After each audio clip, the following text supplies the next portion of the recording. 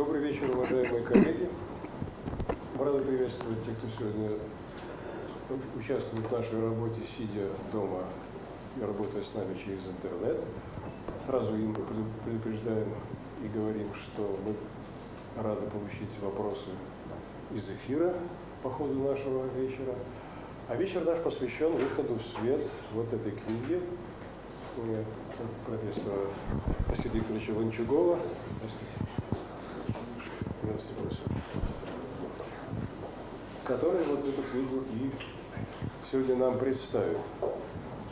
Прежде чем мы об, об этой книге будем специально говорить, позвольте я э, поделюсь с вами радостью держать э, вот эту книгу в руках, собственно говоря, книга самого архимандрита Гавриила. У меня, правда, второе издание, казанское, 1840 года, Михаил Александрович. Вот оно, да? В том числе вот то самое пятое, то самый шестой выпуск э, или пятый том, правильно? Шестое дополнение. Шестой, да. Шестой последний. Который посвящен как раз истории русской философии. Э, собственно говоря, это, как бы это сказать, не употреблю слово Библия, но, видимо, некий базовый текст для историков русской философии, хотя он и подвергался бесконечными критиками и претензиями, но это первое. Это первая книга такого рода, такого рода и такого жанра. И еще я подержу в руках другую книгу. Это уже книга э, Василия Иванчугова, э, уже давняя, 1994 или 5, 4 года, да? Так что вот уже 21 год, как вышла эта книга, тогда еще молодого, молодого исследователя, который посвятил, как и архимандрит Гавриил, истории русской философии, свое исследование. Это его диссертация. Это его кандидатская. Он по ней защищал. Кандидатская диссертация. Да, тогда это было, это было, были благословенные времена, когда еще можно было по книжке защищать. Э, Сейчас уже невозможно. А, ну, выскажу свое мнение. Я думаю, что эта книга дороже многих диссертаций, которые тогда защищались, и даже докторских, наверное. А, и уж еще одно от себя э, еще от себя реплику.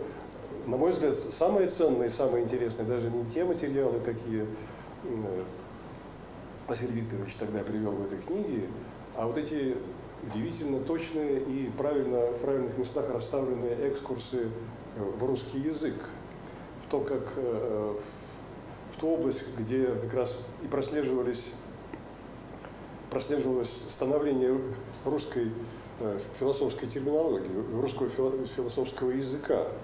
И вот здесь, кажется, э, можно найти много попросту пионерских наблюдений и находок, которые еще до сих пор э, нами и не освоены. Но это скорее реплика, это скорее то, что можно сказать, вопрос на будущее. А сегодня у нас тема вполне определенная. Василий Викторович, позвольте представить вам слово и порадоваться выходу этой книги. Хорошо, спасибо. Добрый день, коллеги, э, те, кто в реале, те, кто э, в виртуале присутствуют. Надеюсь, э, сегодня у нас как раз регионы получили возможность пообщаться со мной. Надеюсь, что и в Казани сейчас наблюдают, смотрят и слушают, что книга уже там тоже, я точно знаю, что она там и про прочитана. Но ну, прежде всего хотел бы выразить благодарность Дому Осева, предоставившему мне возможность выступить перед читателями. А, это, в общем-то, первое мое э, выступление. И э, я, буду, я не буду пересказывать содержание книги, какие-то основные положения. Это лучше, эффективнее сделать, прочитав, собственно, эту книгу. Моя задача обозначить некие контексты в книге много, в этом тексте, так сказать, много сил э, отдавал созданию контекста для адекватного восприятия э, э, текстов. Но сегодня мое выступление тоже будет своего рода таким мета-контекстом, обозначить какие-то моменты, особенности, ходы мысли, которые не всегда можно выразить в книге. Ну, прежде всего, поэтому я, э, э, так будет небольшое выступление, после которого с удовольствием могу выслушать ваши э, вопросы, ответить на ваши вопросы. устойчив. А может под эту штуку, да, вот так вот. Ну, тут пока не забыл, то есть если здесь, так сказать, Ветхий Завет, история русской философии, то та Новый Завет. Итак, э, прежде всего я хотел бы ответить, э, так, э, не прозвучавший, но явно, так сказать, вопрос, которым вы задаетесь, зачем я это делал. Как бы, степень доктора есть, в общем-то, можно как бы расслабиться и отделываться мелкими статейками ваковского формата, выполнять норматив, а не тратить силы на книги. А, тем более представители такого традиционного академического поколения прекрасно понимают, как трудно работать над книгой. А, над книгой не для отписки, не для отчетности, не для защиты, когда книга является такой просто таким неким а, вариантом отчетности, а просто вот так сказать из любви к искусству.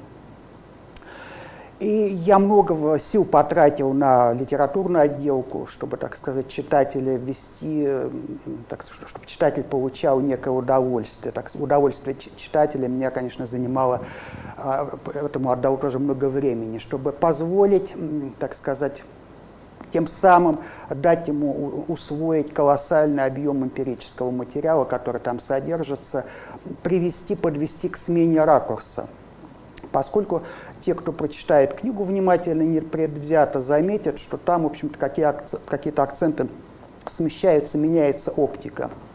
Что у нас на данный момент история, философия русской слишком зашлифована. Здесь много лакировки, э, сияния, блеска. И вот эти так, созданы стереотипы, сформированы стереотипы, которые кочуют из одной работы в другую, какие-то схемы устоявшиеся, которые на самом деле не всегда, а часто вообще не соответствуют э, действительности. И отвечая опять же на вопрос, зачем я стал э, работать над этой книгой, э, ну просто, как сказать, с иронией, конечно, ну, несколько высокопарно, но скажу, чтобы смыть пятно национального позора с нас. Дело в том, что книга написана в 1840 году, я имею в виду историю русской философии э, Архимандрита Гавриила, прошло 170 э, лет э, более, и ни одной книги относительно, ни одной вообще даже серьезной работы относительно архимандрита Гавриила написано не было. Мы гордимся архимандритом Гавриилом, говорим, вот наше национальное достояние, автор первой в России, да и в мире истории русской философии, но все статьи сводятся к перебору таких положительных эпитетов, какой он был добрый, замечательный, какие-то цитаты приводятся, вырванные из контекста, в восторге там, где вообще, в общем-то, восторгаться нечем, а следует, в общем-то, ругать архимандрита говорила, равно как и наоборот.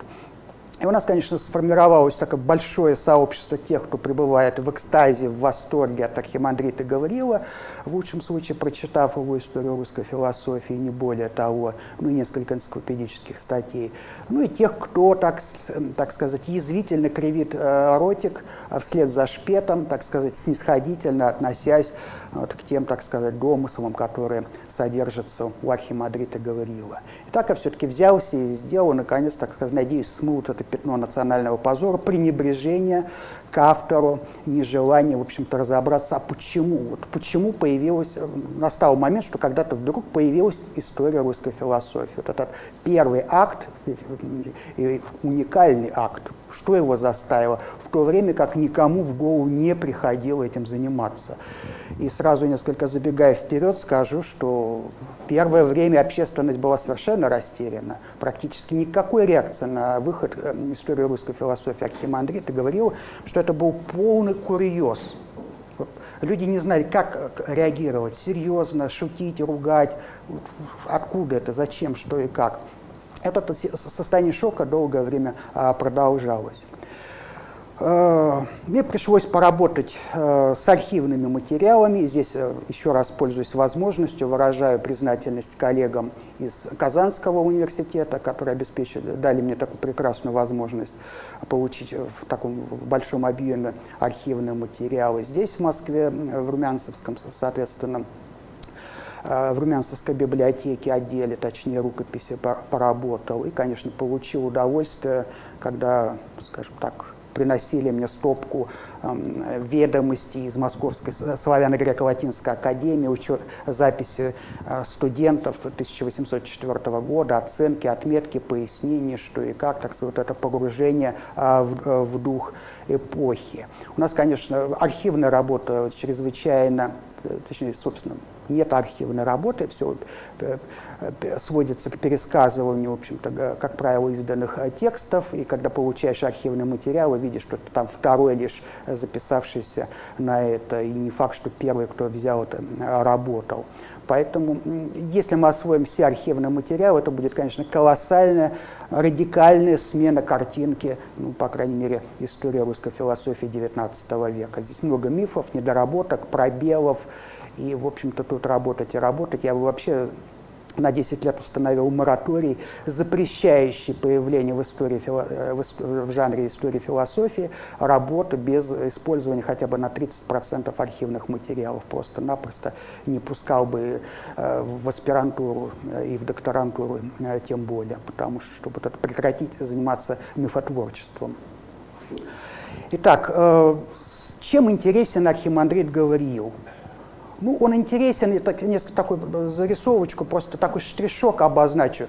Ну, например, далеко не все даже э, толстоведы, э, специалисты по Толстому знают, что когда, э, Архим, э, когда Лев Толстой был студентом Казанского университета, лекции ему читал Архимандрит Гавриил по философии и богословию. Ну, студентом а, а, Лев Толстой был чрезвычайно плохим, отчисленным потом за академическую неуспеваемость, но, тем не менее, вот, так сказать, точки соприкосновения Архимандрит говорил как преподаватель, один из преподавателей а, в университете Льва Толстого. Далее, например, когда Николай I посещал Казань с инспекцией, своеобразным гидом, выступал для него, тоже архимандрит говорил, рассказывал о памятнике, э, пирамидальном памятнике знаменитом Казанском, а ранее во время коронации Николая I архимандрит говорил, обращался с речью к нему от э, Орловской э, епархии, возглавлял от лица Орловской епархии. А, то есть уже как бы два штришка показывают, в общем-то, включенность, Льва, э, включенность архимандрита Гавриила в политические и другие процессы, в общем-то, достаточно, так сказать, значимую фигуру. А, архимандрит Гавриил, если так выража, выразиться просто, скажем так, участвовал вполне сознательно в том, что сегодня принято называть консервативный поворот – дело в том, что Архимандрит говорил, захватил две эпохи. Александровскую Александра I и Николая I. Эпоху либеральных, так сказать, мечтаний и преобразований а, фантазии, неких, так сказать, экспериментов по, э, по, по поводу христианства и системы образования, э, реформа высшего, и дух, высшего светского и духовного образования. Но здесь еще э, Архимандрит говорил, конечно, не проявил себя, а проявил себя в полной мере уже в эпоху Николая, вот этого консервативного поворота. Потому такой Николай I? Николай I – это исправление ошибок Александра I, который, я, конечно, утрирую, опуская многие моменты, говорю несколько, так сказать, э, на уровне таких слоганов, э, который, так сказать, чуть было не потерял Россию. Вот это восстание декабристов, так сказать, вот это некие метафора, некий такой символ, некое вот событие, говоря, свидетельство о том, что мы могли потерять Россию. И задача Николая I была, так сказать, укрепить, э, закрепить, не дать э, развалиться империи. И э, после восстания декабристов правительством принимается ряд мер, и прежде всего в системе образования – поскольку вот эти, так сказать, социальные волнения, вот эти мечтания и, так сказать, возможность утраты Российской империи были обусловлены, подготовлены, как считали а, в то время, упущениями в системе образования, что система образования потеряла национальный формат, а, начальное образование, среднее, высшее готовят людей готовят людей грамотных, но не патриотичных. Я там разбираю а, два термина, очень интересных, показательных для той эпохи и для э, Архимандрита Гавриила, как деятеля университетской э, системы подготовки кадров. Э, образованные и просвещенные, образованные и просвещенные. Что вот образованные, образованные в общем-то, достаточно опасно для государства готовить просто образованных людей поскольку у них нет четкой, так сказать, системы координаты привязанности к национальным ценностям, они в силу тех или иных причин могут, так сказать, отклониться в сторону и работать, в общем-то, так сказать, против государства. Против государства. А вот просвещение Поэтому у нас и э, э, соответствующий термин был Министерство народного просвещения. Не образование, а просвещение. Так вот, просвещение подразумевает готовить образованных людей, специалистов, квалифицированные кадры, но привнесение, так сказать, облаготворение Э, так сказать, придание вот этой образованности твоей э, некой направленности, что ты все то искусство, все те знания, которыми тебя научило, обучило государство, направляешь на службу своему государству а не против него. Поэтому вот истинный просвещенный, он образованный, грамотный, но всегда патриот, всегда будет работать на свое отечество.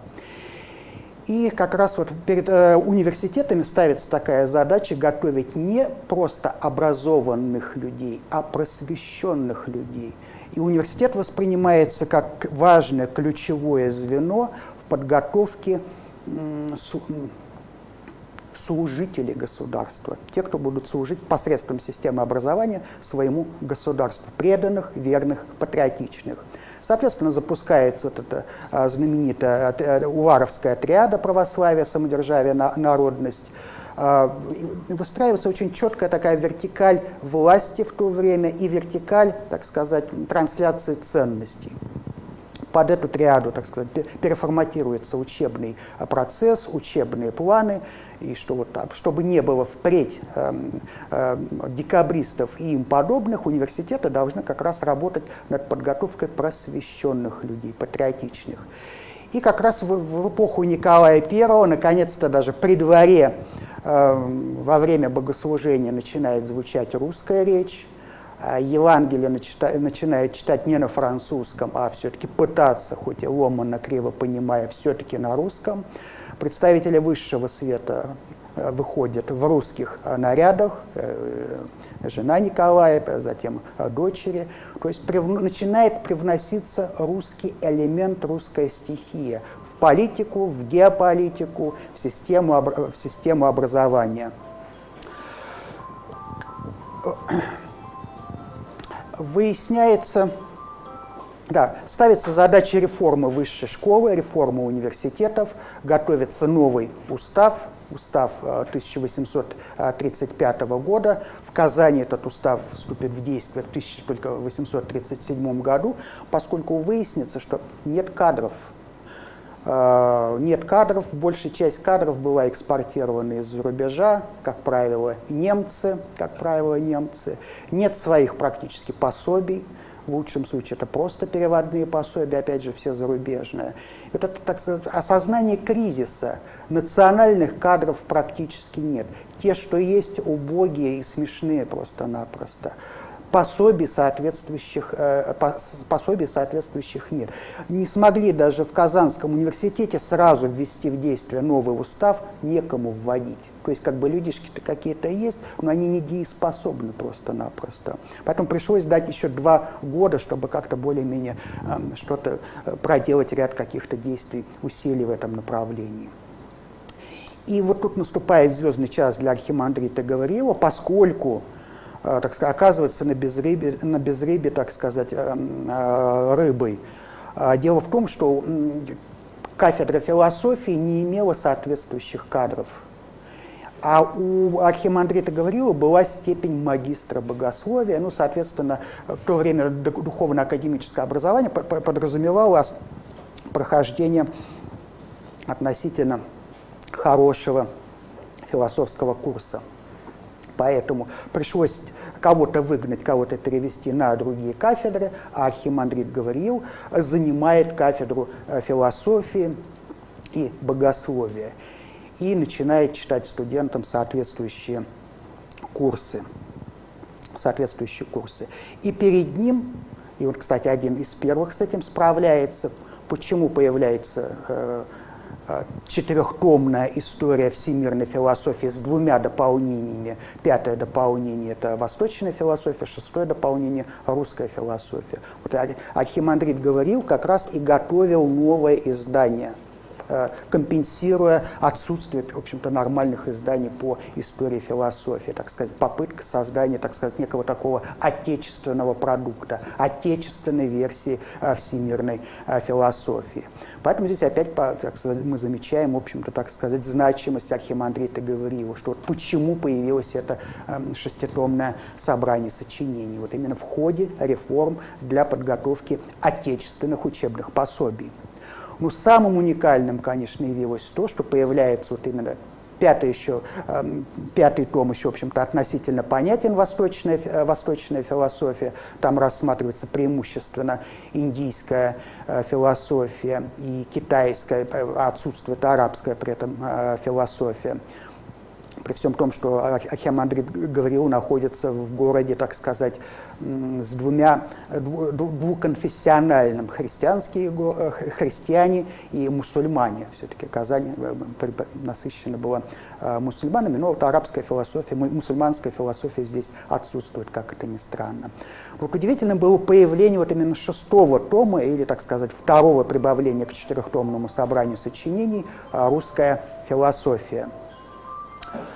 А дело в том, что здесь, э, так сказать, э, Архимандрит говорил, идет, так сказать, последовательно в реализацию вот этой новой установки на усиление национального элемента, на усиление патриотического элемента, так сказать, без указания сверху берется так, это самостоятельный, так сказать, замысел предложить еще и историю русской философии, русской мысли показать, что, в общем-то, э, мы, да, при помощи э, вот этого труда, он показывает, что, да, мы знаем, мы вовлечены в философский процесс, но чтобы еще особенно подчеркнуть, выделить, он, так создает этот, этот том под названием просто «Русская философия», э, чтобы показать нашу включенность и, так сказать, длительное присутствие в историко-философском процессе, что мы не новички, а у нас достаточно давняя история и начинает, предлагает э, начинать историю русской философии именно с принятия христианства, с, с принятия христианства. А, и а, что было уже достаточно радикальным шагом на тот момент, и завершает, что было, может быть, не менее радикальным шагом на тот момент, завершает историю русской философии э, современниками, современниками. То есть у него, так сказать, два сильных, два необычных момента, слишком, так сказать, с давних пор ее начинает с принятия христианства, плюс э, включает еще и современников, э, даже своих коллег. И э, какое-то несколько изданий показывают, что название труда Архимандрита Гавриила менялось. Э, русская философия сначала называется, потом история русской философии. Кон контент он не меняет, содержание не меняет, но начинает играть заголовками. Следующее издание «История русской философии», потом еще одно появляется издание «История российской философии». Ну, я там рассматриваю, чем, эм, показываю, чем было вызвано вот это, так сказать, э, метание, вот этот поиск э, новых названий при неизменном содержании. Э, тем, э, поэтому, так сказать, вот, э, Архимандрит говорил, участвует в этом, так сказать, в консервативном, в консервативном повороте и по сути, так сказать, оформляет, формирует, собственно, историю русской, русской философии. Ну, как я уже сказал, шаг был достаточно, так сказать, необычным. Сообщество оказалось не готовым появлению такой работы. Все, в общем-то, были ошарашены и не знали, как, в общем-то, эм, вести себя, как оценить эту работу. Хотя, опять же, я показываю, что уже, так сказать, подходы к этому были, мысли о необходимости, эм, по крайней мере, рассуждения о собственной философии, попытка выявить, а кто у нас философы и что в них, собственно, своего нет ли здесь просто, да, это вроде как наш соотечественник, как бы, э, точнее, наш соотечественник, работающий на кафедре философии, ну можем ли мы считать его русским философом? Не является ли он просто транслятором э, немецкой философии? Ну, поскольку на тот момент, когда работает Архимандрит, говорил, такой, так сказать, образцовой философией являлась э, немецкая философия. Немецкая философия. Не является ли он просто ретранслятором немецких идей? Или мы же все же можем говорить, что это российский философ, который, да, при всей вовлеченности, погруженности в немецкую философию, привносит что-то в философии еще и свое, особенное, своеобразное, а, самобы, самобытное. Уже подходы к этому были. И вот Архимандрит говорил, как так сказать, в общем-то, эм, поймал вот этот запрос э, времени и, так сказать, дает свой вариант, свой, свою версию истории русской философии. Она, конечно, небольшая по объему, э, небольшая по объему, но э, здесь хочу обратить внимание еще на один аспект, почему она такая крохотная, небольшая. Мы не должны забывать это, что касается, так сказать, технологии порождения научных продуктов. Э, Архимандрит говорил, э, история русской философии Архимандрита Гавриила все-таки пишется еще гусиным пером. Мы должны понимать, что так слишком много не напишешь. Это вязкая бумага, рыхлая бумага, гусиное перо, которое надо махать. Ты не можешь слишком быстро и слишком много. То есть здесь задан темп, в скорости ты ограничен в отличие от Чернышевского и Писарева, которые пишут уже стальными перьями. Соответственно, вот эта неимоверная скорость, неимоверные объемы, здесь, так сказать, иной объем, иной контент, иные а, форматы. А Архимандрит говорил, так сказать, пишет медленно а, в монастырской келье при сальных а, светильниках с гусиным пером и рыхлой синеватой бумагой. Поэтому мы должны чувствовать и понимать, так сказать, ритмику и технологическое, так сказать, окружение э, при создании этого проекта. Поэтому она небольшая по объему. А также мы там обнаружим, по крайней мере, я легко обнаруживаю, э, такой достаточно сильный компилятивный момент, что дало, дало возможность в свое время Шпету, да не только ему считать, что там вот Архимандрит говорил что-то там, так сказать, эм, плагиатом занимался. Э, совсем не так. Дело в том, что компиляция была достаточно распространенной технологией в то время, процедура. В духовных академиях, в университетах компиляция как такой рабочий, рабочий момент, и не всегда указывали, так сказать, что они занимаются вот этой э, компиля, компиляцией. Даже у Галича, которого долгое время считали, так сказать, его историю э, философии таким оригинальным трудом, вы найдете, что там процентов 70, если не 90, э, так сказать, результат вот этой компиляции. Мы тоже... И я пытаюсь показать, э, так сказать, вот эту технологию порождения текстов в то время, что как кто-то, Архимандрит говорил, философствует, э, работает на философской кафедре. Но формировался он в духовной академии. Сначала славяно-греко-латинской академии, затем Московской духовной академии, имею в виду, реформированную уже, которая переехала Троице Сергиеву Лавру, и показываю, что как там создавались тексты. И вот это, так сказать, научение тебя, э, форматирование определенного сознания, которое ты не можешь преодолеть, это эти технологии переносишь на другую сферу и начинаешь действовать в философии, используя те правила и навыки, которые были сформированы в другой среде. Поэтому некоторые моменты, которые неподготовленному читателю кажутся, так сказать, слабыми местами, уязвимыми моментами, такими не являются. Это просто, так сказать, отражение духа. Он не мог перепрыгнуть в каких-то моментах те пределы, те рамки, которые задавало, эм, так сказать, его э, время, э, техники порождения э, текстов. Поэтому действовал таким образом.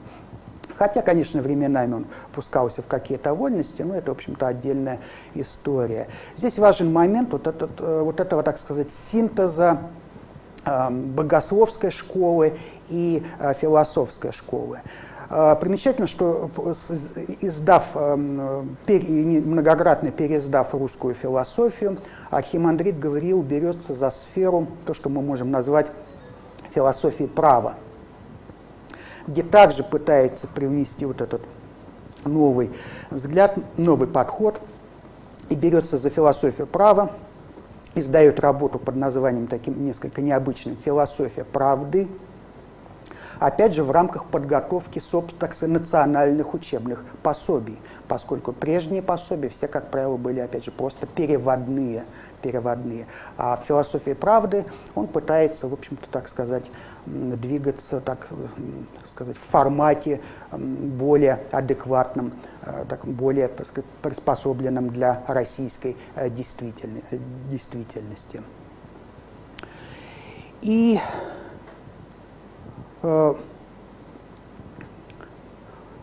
по сути, все его работы как раз являются вот выполнением того самого, э, того самого, так сказать, э, той самой установки, которая задана была в рамках переформатирования высшего образования, чтобы прекратить продуцирование кадров образованных, а выпускать исключительно кадры просвещенные. И вот его все пособия, русская философия, философия права, история церковного права, история церкви, все как раз вот являются, как, появились как эм, в ответ на вот этот призыв создавать национальные, национальные пособия, позволяющие формировать соответствующих людей, которые уже не допустят событий, явлений, э, что-то типа э, декабря э, 1825 года.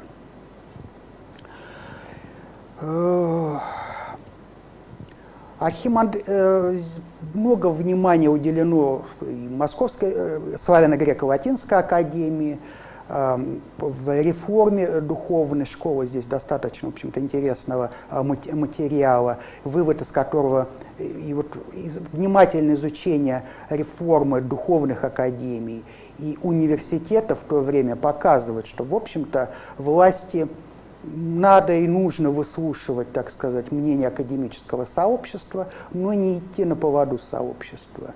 Невозможно делать реформы, пытаясь угодить всем. Всегда будут недовольные, пострадавшие, но это неизбежный, так сказать, результат, поэтому здесь нужна сила, воля, эм, только тогда можно действительно делать э, какие-то э, какие реформы, так сказать, двигаться э, в лучшее будущее.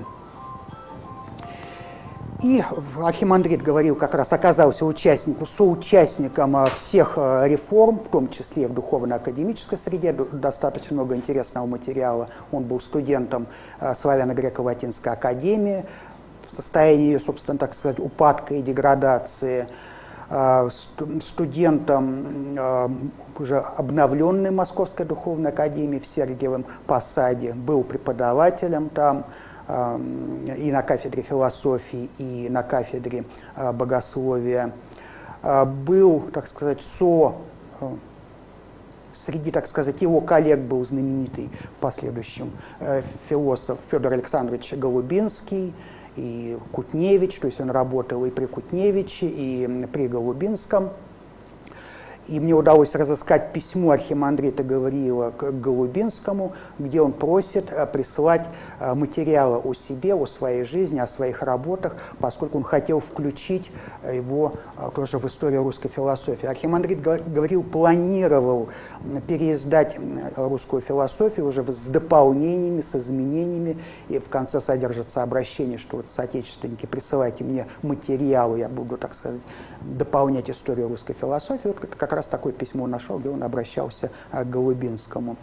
Э, также Архимандрит говорил, работал э, в Орловской духовной семинарии, там достаточно много интересных было событий, в Могилевской духовной семинарии, там и там на должности ректора и профессора э, богословия, в Казанской духовной семинарии работал преподавателем законоведения. Но большая часть жизни была его связана. Духовно-академическая карьера ему не задалась. Там есть несколько, содержится объяснение, что и как и почему. Да, был он еще и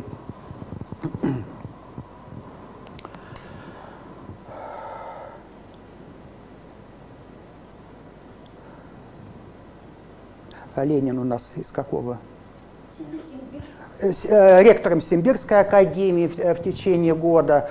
Но духовно-академическая карьера ему не задалась, не буду говорить э, почему. И вообще у него очень складывались плохо отношения с духовным, с академическим начальством, да и вообще с, с, иерархи, с иерархами. Был достаточно дерзким таким человеком, э, своенравным. Ну что, как и почему, объяснять, в общем-то, не буду. Тут достаточно... Из-за чего, собственно, пострадал и был сослан фактически ссылку в, в, Ирку, в Иркутскую епархию, в самый захудалый монастырь, где на тот момент всего было три монаха, в общем-то. Это говорит так, о состоянии этого а, монастыря, будучи при этом уже больным по Сибирскому тракту, э, практически полтора месяца добираться.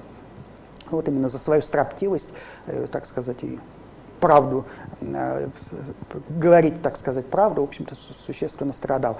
Ну, вот в университете у него дела складывались хорошо, все студенты его любили, ну, там я поясняю, почему, чем была вызвана эта любовь, тоже с такой особенностью, э, своеобразием архимандрита Гавриила. Э, и, но книга моя, основ цель и задача этой книги взять э, жизнь конкретного человека, взять жизнь Архимандрита Гавриила от рождения и до смерти и рассматривать эту жизнь этап за этапом поступления в семинары, перемещения, оценки, экзамены и прочие-прочие жизненные повороты при помощи вот этой биографии Архимандрита Гавриила показать историко-философские процессы – что это не Жизел, это не рассказ, это не биография просто, а некий кейс, некий конкретный случай, конкретный повод через сквозь Гавриила показать русскую, русскую философию, что, как э, происходило, что мог Архимандрит Гавриила сделать, а что в принципе не мог. В принципе не мог.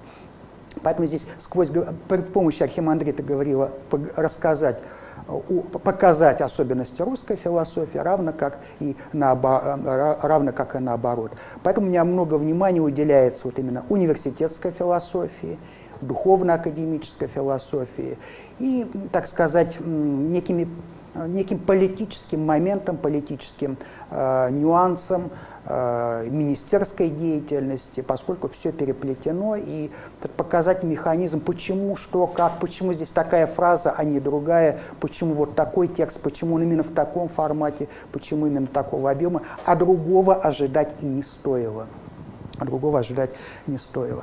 Поэтому здесь своеобразное введение при помощи вот биографии Архимандрита говорил, это введение в культуру, философскую культуру XIX века, прежде всего вот именно а, первой половины XIX века, введение в систему высшего образования того времени, введение в духовно-академическую деятельность. Ну и главная, опять же, задача моя была такая прагматическая, показать, что, в общем-то, а, некий повод поговорить о современности, потому что внимательное чтение книги показывает, что, в общем-то, мало что изменилось в механизмах функционирования. Поэтому хотите лучше понимать э, современность, в общем-то, стоит э, внимательно изучить и 19, 19, 19 век.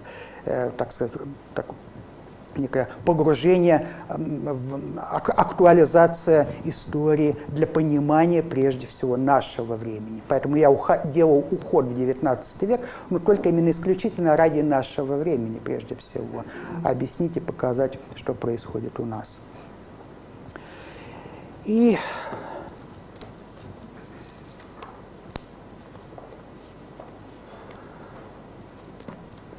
удалось провести Архимандрита говорил от э, рождения до, так сказать, его смерти, достаточно, в общем-то, такой э, печальный и несколько, так сказать, э, вот этого такого не столь яркого конца у жизни, у жизни как было э, прежде.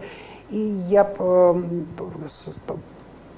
удалось показать, что то, что Архимандрит говорил, по сути, сконструировал, его русская философия была ответ на заказ. Есть некий социальный заказ, Архимандрит говорил, ответил. Первым, быстро, своевременно от, исполняет такой социальный заказ.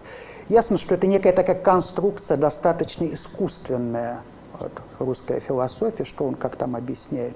Ну как это не удивительно, по прошествии какого-то времени, то, что появилось как следствие социального заказа, и являлось несколько искусственной конструкцией, вроде бы не соответствующей действительности, вдруг эта работа, вот этот подход, вот эта методология, вот эта периодизация становится нормативной.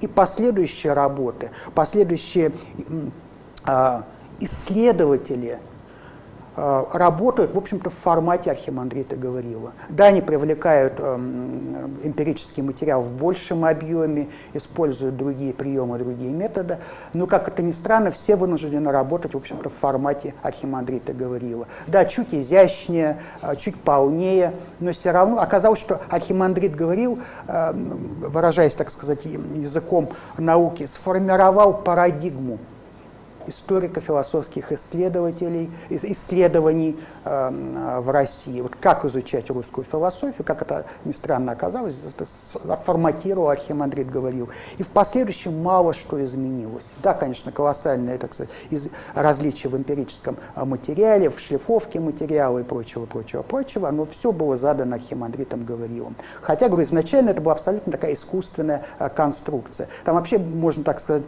прочитать эту работу в таком в пост постмодернистском ключе, потому что Архимандрит говорил, вот эти делающие вставки на латыни эм, из различных журнальных, газетных э, вырезок, такой сконструированный текст, сочетание текстов, вот это сочетание часто, в общем-то, такое э, несколько такое спонтанное, эм, искусственное, тем не менее дает порождение новых смыслов, э, формирует какую-то формирует какую-то оптику. В этом плане, конечно, то, что появилось как бы случайно, оказалось, в общем-то, следствием, эм, оказалось э, а, в последующем оказалось таким нормативным и законода законодательным. Ну и э, я также показывал все вза контакты, взаимодействия Архимандрита Гавриила с современниками, с другими э, философами, богословами, что из этого э, случалось, что из этого происходило. И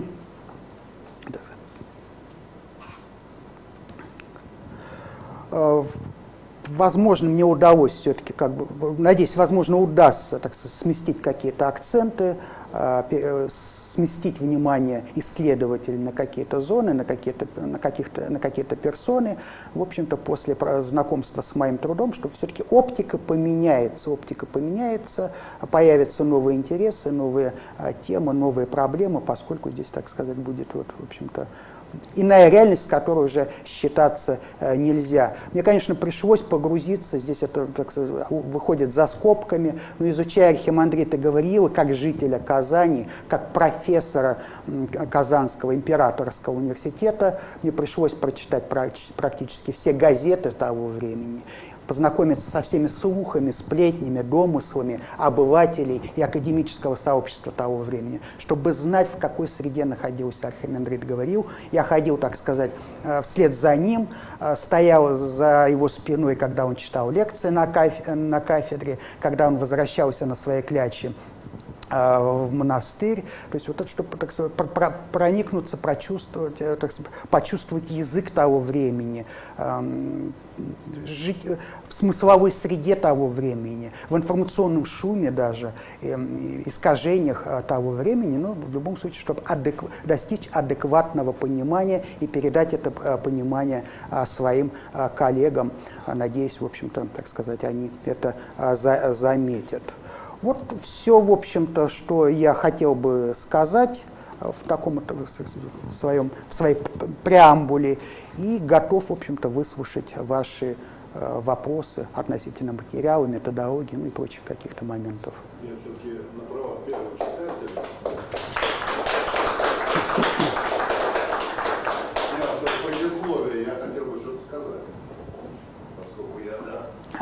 Я действительно первый читатель этой книги, вот, и автор предисловия.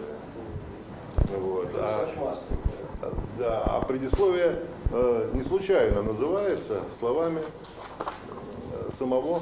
Ну, Василий все время архимандрит говорил, архимандрит говорил, а он-то на самом деле Василий Николаевич Воскресенский.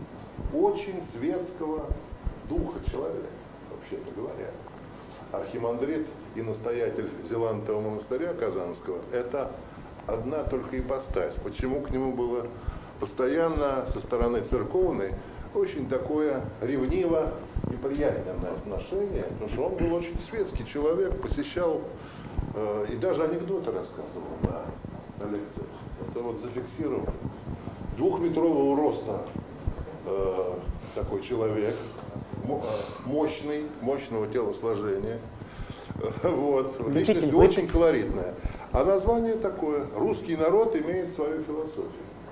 Вот то, что Василий э, сказал.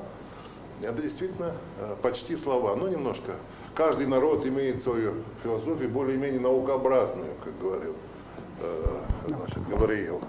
Да, вот, вот, каждый народ имеет свой собственный э, и так далее. Вот, это главное. Я о книге хотел сказать, но, во-первых, Виктор Петрович не все книги упоминал. У нас э, такой философский писатель, очень э, плодовитый. У него, книга, у него есть книга и женщины в русской философии. У него есть книга э, очень, э, так сказать, оригинальная «Москва, София и Петербургология». Очень интересная, кстати. Само название указывает предмет, о чем он там пишет. Действительно, э, кстати, вот э, Петербургология. Э, Петербург напрасно э, претендует на первенство по части университета, который был, как известно, не настоящим, хотя и основан был раньше Московского университета в 1724 году. Но он, как известно, захерел. Фактически перестал существовать. А второй это университет по праву, Казанский. И воссозданный Петербургский университет это только третий после Казанского, что само по себе характеризует Казанский университет как, вот, как, мощный, так, как мощный э, форпост э, российского просвещения. Вот дальше на восток не было, так сказать, где-либо еще просвещения университетов не было, это самый мощный форпост. Поэтому, конечно, не случайно, что там появилась такая книга. Казанский университет был очень мощен, очень мощен. Я не говорю о востоковедческой школе, не случайно у него индийская и китайская философия. Наше отечественное востоковедение начинается с Казани, с Казанского университета. И Петербург, уже третий э, университет, так сказать, по счету, переманил э, из Казани кадры для того, чтобы там свое востоковедение завести. Видите, какая э, тоже история. А теперь о самой книге, о ее жанре. Дело в том, что этот жанр почти утерян. То есть вообще э, крайне редок. Крайне редок. Это жанр научной биографии. Не просто вот, э, значит, жизнь замечательных людей. Это сколько угодно у нас жизни э, замечательных людей. Но это же научно-популярный жанр. А вот научная философская биография, историко-философская, так сказать, такая интеллектуальная биография, появляется крайне редко. И тем более в контексте эпохи. В контексте эпохи. Тут э, напрашивается сравнение с книгой издательством э, «Путь» Маргариты Константиновны Морозовой э, с началом э, прошлого века. Значит, там именно появились первые работы и первые тексты русских философов и о русской философии. Вот я напомню, книга Эрна о сковороде. Замечательная книга, я считаю, лучшей э, из, из всего написанного Бердяевым о русских мыслителей Алексей Степанович Хомяков хотя у меня есть и другие книги о других русских мыслителях. Вот в это же время. Вот. К сожалению, вот эта э, традиция почти пресеклась. И Василий вот ее как бы возобновляет, э, эту традицию, опираясь вот на те образцы, которые имеются. Это очень важно. Я только с одним не соглашусь, э, что Николай I исправил значит, ошибки Александра пытался, Первого. Пытался. Пытался исправить. Ну, дело не, не, не в Александре Первом. Вот, кстати, э, этот год, э, в этом году, должны были бы отмечать великую дату. 200-летие, э, 200-летие образования Священного Союза. Это же инициатива Александра Первого, Священный Союз. Россия была лидером Европы, и э, ей это не простили. Россия не виновата, так сказать, э, вот, в том, что ей это не простили. Всегда бывает, как только Россия возвышается, усиливается, сразу и Европа, и весь, так сказать, остальной мир, остальной мир э, значит, ополчается. Ну, это было, кстати, и с Советским Союзом, вот, которого погубило э, международное рабочее и коммунистическое движение. Россия раз, раздавала щедро себя всему миру, и вот получила за это, так сказать, распад Советского Союза. Понимаете, вот. Э, и э, тогда произошло то же самое примерно. Э, Александр I жертвовал миллион рублей жителям пострадавшей деревни Ватерлово. Миллион рублей, так сказать. Он искренне думал, что вот, так сказать, тем самым благодарная Европа будет Россию чтить. Ну, вместо, вместо этого, как известно, мы получили Крымскую войну. Крымскую войну. Поэтому вот это только одна коррекция. только одна коррекция. Тем более, что Министерство народного просвещения появилось при Александре Первом в 1802 году. Э, было основано. Так что сама эта идея была заложена Александром. Вот. Ну а то, что он излишне полагался на Европу, это тоже, так сказать, вот как бы русское качество. Вот. Э, такой чрезмерно разросшийся христианский универсализм. Вот, э, и так далее. Поэтому, конечно, э, личность тоже великая вот, в Священном Союзе. У нас даже не упоминается, так сказать, великая, великая дата. Вот. И именно вот в контексте эпохи, интеллектуальной, научной биографии, это очень ценно. Вот все, что Э, было сказано Василием, архивные материалы э, и так далее. Вот. Это вот модель того, как надо сдавать. Ну, к сожалению, и я соглашусь, к сожалению, сейчас э, ценность философской, особенно историко-философской монографии девальвируется. Почему? Потому что ВАК требует, э, так сказать, э, престижные статьи престижные статьи престижных изданий. И получается парадоксальная вещь. Если в гуманитаристике вообще, в философии особенно, всегда ценилась монография, то сейчас она как бы и не ценится. Ты предъяви статьи цитируемых, так сказать, э, э, журналов, понимаете? Поэтому э, это своего рода, так сказать, ну, халтура. Это же не, не сравнишь вот такой труд огромный. И Василий еще не упомянул, э, я-то упомянул, э, что он единственный, кто переиздал саму книжку. В каком году, сейчас не помню уже, ну лет 10 уже назад, назад да. А? Да, да, да. Да, вот, да, лет 10 так, тому назад. А? В Урсе, да? Это переиздали в Урсе? Нет, РУДН. Нет, издательство РУДН когда он работал, Говорил, русскую философию, да. в Российском университете Тружина, вообще не имели э, современные читатели никакого представления, кто такой говорил, что там, э, что там в этой книжке содержится. Ну и, конечно, сама эта книжка Гавриила, ну, она, наверное, составляет вот такую часть. Она, она, не, она фактически брошюра, она небольшая. Ну, сказано уже было почему и как она небольшая и так далее. Но это надо упомянуть, то есть это э, не едино, э, единоактный, так сказать, так сказать, вот сел и написал. Он в течение многих лет э, систематически этим занимался, публиковал э, историю русской философии с комментариями, с примечаниями, кстати. Вот, статей, на конференциях неоднократно выступал. Вот так создаются книги. И за это, конечно, мы ему благодарны, надо сказать спасибо. Потому что, он правильно сказал, э, никаких, так сказать, ему пряников э, за это не полагается э, и так далее. А вторую степень он за это не получит.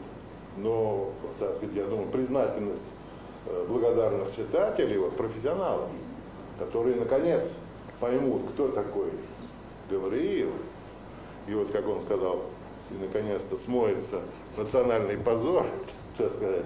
Ну, это, э, что же, вся наша культура состоит из потерь по многом, а потом попытки вернуть утраченное, это уже э, мы знаем и так далее. Вот эта попытка вернуть утраченное оказалась э, очень такой полезной и плодотворной. Так что мы его благодарим.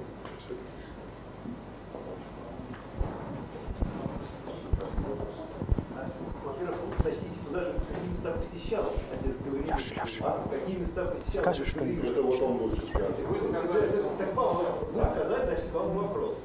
А какие места? Он э, любил светские разные собрания, вот, куда вроде бы архимандриту и не пристало ходить, так сказать, не очень прилично. Вот. Ну, Он был членом общества любителей русской словесности, например. Да. А То среди... есть светские, светские мероприятия посещал в этом смысле. Что театр, там что можно? Или вроде наши Ну, да. Может быть, какие-то Э. Ну, это э, не всем нравилось, потому что он был э, активный, да, социально активный э, человек. Ну, и более широкий вопрос это провестить его роль в связи между светской и, собственно, церковной культурой, которая в то время была Очень, очень большая связь, Раз, потому что, э, собственно говоря, он олицетворял собою э, профессиональную философию в двух ипостасях. В России профессиональная философия была в двух ипостасях. В духовных академиях и в университетах. А то, что получило известность, и то, то, что до сих пор считается за основной массив, неправильно считается русской философией. Хотя бы количественно считается основной массив. Это так называемая вольная публицистика, фи- философская публицистика. Э, Вот. Э, То, что больше, большую частью, так сказать, было на слуху. А вот э, а- академическая или духовно-академическая философия и университетская философия – это две главных разновидности профессиональной философии в России. Вот. И он соединял в себе и то, и другое. Но можно Он- сказать, что этот его, условно говоря, проект соединения э, оказался не э, эффективным. Он подвергался критике со стороны светской школы и со стороны духовной. Ну почему не оказался э, эффективный? Ведь эффективность обнаруживается не э, через одно и не через два поколения, а может быть через столетия. В данном случае почти через 200 лет по- появилось первое исследование, э, так сказать, э, о Гаврииле. Э, Тут действует такой закон. Э, В культуре закон сохранения существует. Вот. В культуре ничего не пропадает, когда рукописи не горят. В данном случае не рукопись, а книжка, которая... э, И, в общем, э, на нее ссылались, так или иначе. В общем, она свое, свою роль сыграла. Вот. э, Не обязательно, ведь, э, понимаете как, э, преемственность или то, что называют традицией в истории философии, реализуется не, не таким эмпирически прямым образом. Мыслитель X написал сумму работ и сослался на мыслителя Y предшественника, вот тогда есть цепочка преемственности. Это не так. Э, идеи, так сказать, распространяются в ткани культуры. И вот они, конечно, вошли в ткань культуру, э, культуры, хотя, может, формально на него э, не так часто ссылались, или, как сейчас говорят, индекс цитируемости, да, у него был слабый, но это ничего, ни о чем не говорит. Они вошли в культуру и, в общем-то, э, так сказать, его труд пропал недаром? Пропал недаром. Совсем Там у меня есть специальная глава, где, где показано, как подхвачены потом были его идеи, и пошла вот эта Да, так инкорпорация, включение в То историко-философский есть не обязательно вот прямая ссылка на того или другого, понимаете, или иного автора, чтобы показать, что это вот, э, так сказать, э, дело сделано. Вот. А сколько бы других примеров? Э, Так сказать, Леонтьев, например, забытый мыслитель. Вот. А сейчас, так сказать, это один из самых таких э, известных. Ну и другие. Зарубежье все. Кто мог, э, так сказать, в советское время э, изучать философ русского зарубежья. Только те, кто сидел в спецхране. Ну хорошо, я сидел в спецхране, а, э, так сказать, э, я считал эти вещи. А другие не читали, поэтому даже если бы я чего-то написал, то это было бы, э, так сказать, ну, э, глаз вопиющего в пустыню. Кстати, вот э, приведу пример. Э, я в свое время составил антологию. Вот первая о зарубежье антология, называется «О России и русской философской культуре. Философы русского после октябрьского зарубежья». Знаете, какой был тираж? 1990 год. 150 тысяч экземпляров. Сейчас таких тиражей не бывает. Вот э, какая, какой была э, тяга, так сказать, к тому запретному, что вообще нельзя было э, нигде найти и прочитать. Вот. Так что, я думаю, говорил, да, после, после этой книги будет оценен должным образом. Ну, я, это, это уже вопрос ко мне. Да. Давайте отпустим Александровича. Да. Да. Я просто еще нужно Следующий комментарий, да, Так, спасибо. я думаю, еще Алексей Павлович. Сейчас, сейчас, секундочку. У нас вообще говорит, есть приоритет по отношению А. к внешнему миру. Давайте мы сформулируем вопросы оттуда, а потом уже из аудитории. Хорошо? Да-да-да, конечно. У нас три вопроса. По мере поступления. Артем Соловьев из Уфы. От всей души благодарю за интересную книгу. Прочитал ее с огромным интересом и на одном дыхании. Вопрос относительно книги следующий. Что, с вашей личной точки зрения, более всего определило стремление архимандрита Гавриила написать историю русской философии? Официально идейные тенденции Николаевской эпохи, формально-педагогическая необходимость или некая личная внутренняя потребность? Ну, прежде всего, собственно, дух эпохи, как я уже говорил, некий социальный заказ, достаточно явно сформированный, но в то же время, э, то есть внешний, так сказать, толчок, заказ, так сказать, со стороны Министерства народного просвещения, э, заказ, обусловленный идеологическими, в общем-то, так сказать, потребностями, вызванными, я уже показал, чем. Плюс, собственно, дух эпохи, понимание уже в сообществе, в философском сообществе, даже без его привязки к Министерству народного просвещения. А, Так что вот эта тенденция к, э, к саморефлексии, осмыслению своего места в истории философии. Э, Элементарно просто даже потребность так сказать, разобраться, сколько у нас, э, собственно, философов в России, сколько э, книг по э, филосо- фи- философии, над чем размышляют, чем думают. И, собственно, как я уже говорил, вот эта потребность в создании национальной философии, русской, ру- русской филос- философии. Поэтому здесь двоякий процесс. Уже сообщество было готово, хотя не всегда четко могло сформулировать, так сказать, сообщество было готово к разговорам на тему русской философии, русской философии, не просто философия в России, а русской философии как определенной явной такой модальности модификации всемирной философии. Плюс внешний, так сказать, толчок, социальный заказ, э, так сказать, установка со стороны Министерства народного просвещения. Вот два фактора. Внешне, лично у него как бы на тот момент э, совершенно не было. То есть сам по себе он так и не создал бы это. Вот оказался достаточно чутким, так сказать, отзывчивым, вовремя, с- вовремя среагировал, в отличие от, в отличие от дру- других. В этом тоже, так сказать, его своеобразие и особенность. Много было тех, которые как бы могли это сделать, но почему-то, так сказать, эм, не, не смогли справиться с, с этой задачей. А он без внутренней мо- мо- мотивации. Он больше бы, мы должны понимать, э, еще, еще хочу раз обозначить, Архимандрит Гавриил типичный продукт духовно-академической среды, для которых философия – это служанка богословия. Философия – это вторичное, это, да, это некий инструмент для тренировки мозгов, для упражнения, для набора каких-то аргументов, для последующих теологических дискуссий. Но это всего лишь вторая промежуточная стадия роста. Первая, собственно, грамматическая фаза, круг э, наук гуманитарного плана. Вторая фаза подготовки любого богословов в то время, это, собственно, философский курс, средний так называемый курс, средний класс, а третий, э, в общем-то, богословие. Ради этого и учились. И я мог, э, могу привести большое количество примеров, когда люди были страшно расстроены, что их там пристраивали, скажем, или оставляли читать э, философский курс. Это понижение просто-напросто.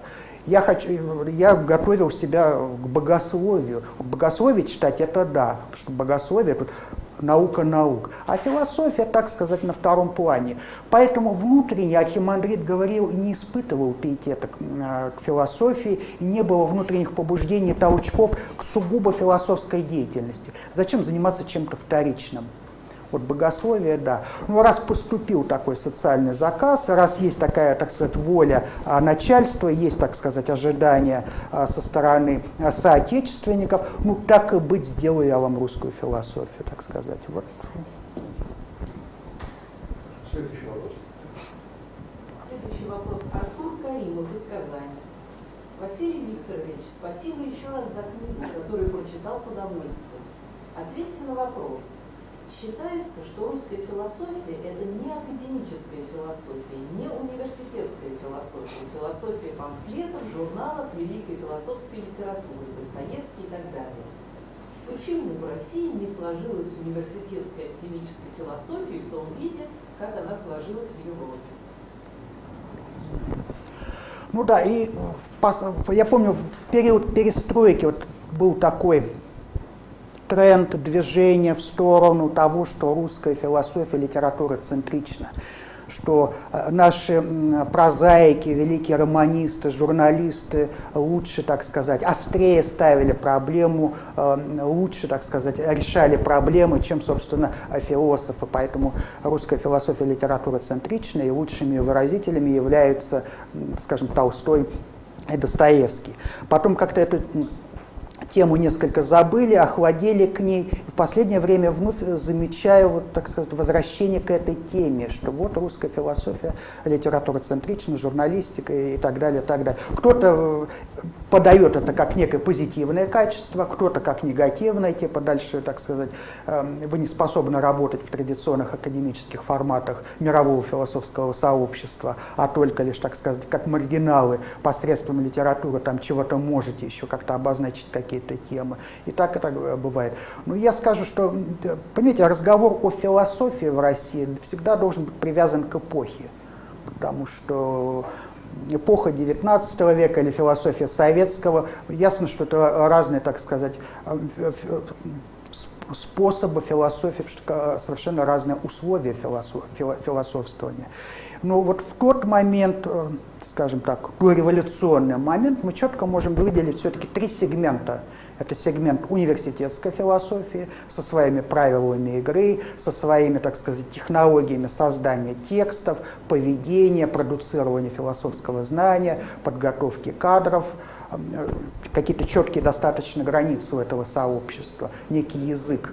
Вторая среда – это, собственно, духовно-академическая философия, где изначально заложено подчиненное положение философии по отношению к богословию. А, из, изначально. И третья среда, собственно, так сказать, э, третья сфера, вот эти вольные поиски, интерпретации, полеты мысли, фантазии, так сказать, внеинституциональная философия. Ясно, что эта модель уже, в общем-то, не совсем четко работает. Переносить эту модель, скажем, на советское время или постсоветское, тут уже необходимы определенные корректировки.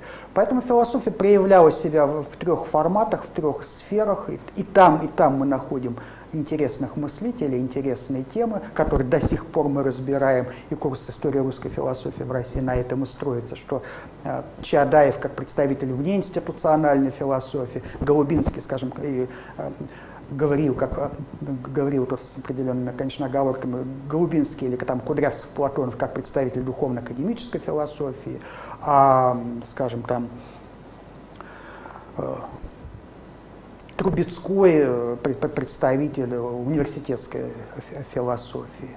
Поэтому вот, здесь необходимо исходить из того, что многоформатность русской философии была э, и остается в, наш, э, в наше время, в общем-то, таковой. Хотя в наше время, конечно, безусловно, университеты являются центрами, так сказать, философствования, продуцирования философского знания современная духовно-академическая школа не может похвастаться тем, так сказать, нахождением рядом, как это было, а, например, в XIX, в 19 веке. Все-таки в наше время философия центрирована, сконцентрирована в университетах, ну и соответствующих институциях академического а, плана.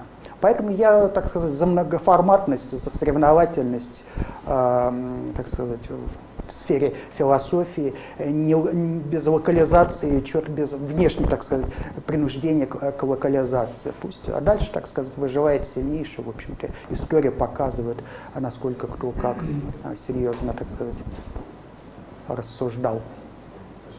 Видите, это небольшая реплика вопрос. Екатерина Снарская из Казани. Добрый вечер, Василий Викторович. Я преподаватель истории русской философии Казанского университета. Огромное спасибо вам за этот потрясающий труд. Невероятное сочетание истории, философии, глубочайшего анализа, интереснейших иллюстративных фактов. Прочла на одном дыхании.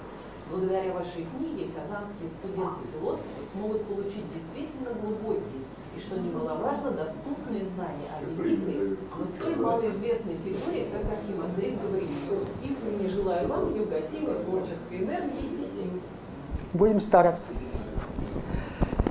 Пока вопросов нет, да, из, интер из интернета? Я думаю, Алексей Павлович Козырев нас. Несколько слов. Вы знаете, э, недавно я сделал для себя небольшое открытие, такое лингвистическое. Я был в Словакии и узнал, как на словацком языке называется историк философии. Это очень интересно. Лето круг. Вот, лето круг это человек, который исследует э, срез дерева, срез дуба, который считает кольца, которые э, начертались на э, древесине. Вот чем более старое дерево, тем больше на нем колец. Вот. Никогда в голову вот, э, нам, э, скажем так, русским историкам философии не приходила такая метафора.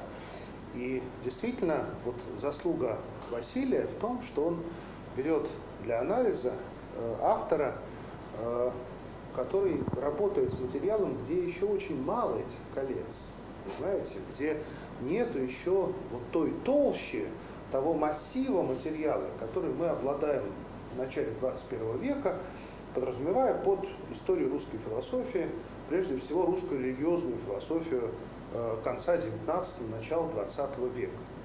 Ну, вот мой коллега, э, князь Дмитрий Михайлович Шаховской, который преподает до сих пор историю русской философии э, в Свято-Сергиевском богословском институте в Париже, замечательный человек и замечательный патриот России, который подписал письмо русского дворянства поддержку России буквально в прошлом году, э, дочитывает русскую философию до середины XIX века.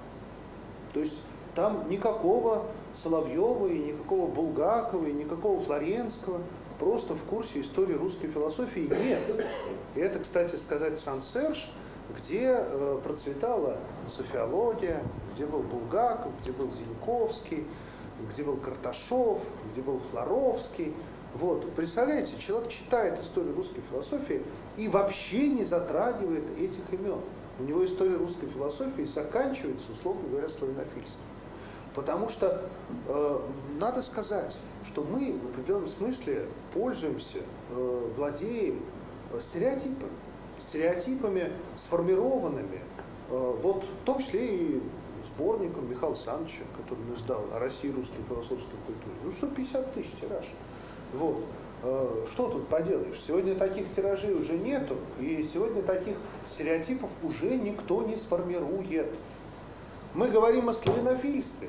Для нас славянофильство – это Хомяков, Киреевский, Аксаков, э, Самарин. Да? И никто, никому не приходит в голову, что был адмирал Шишков, например, что было славянофильство э, начала XIX века, первых э, годов царствования не Александровых прекрасного начала, скажем так. Никому не приходит в голову, что славянофильство – это Ян Калар и Штур какой-нибудь, что это э, словаки, которые и чехи, которые там в середине 19 века славянскую идею э, развивали как идею славянской взаимности, совершенно вне контекста какой бы то ни было русской философии. Вот.